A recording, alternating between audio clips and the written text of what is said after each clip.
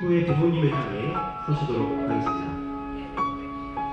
드레스가 길죠. 그래서 조금 정리하는 시간이 있으니 따뜻한 느낌으로 쳐다봐 주시고요. 제 작고 어렵고 정말 귀엽기만 했던 딸이 어엿한 숙녀관에서 사랑하는 만나 결혼을 합니다.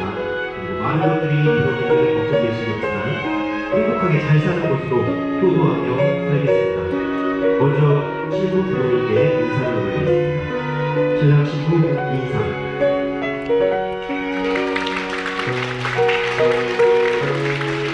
아무리 보고는 그 사람 따뜻하게 한번 나눠주시면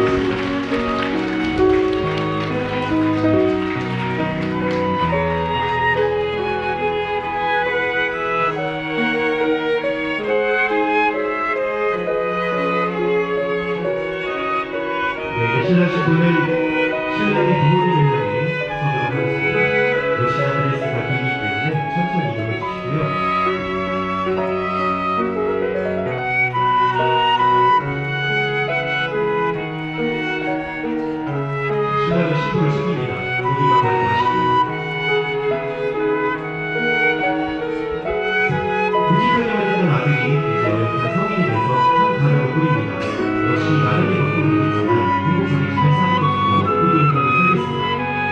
do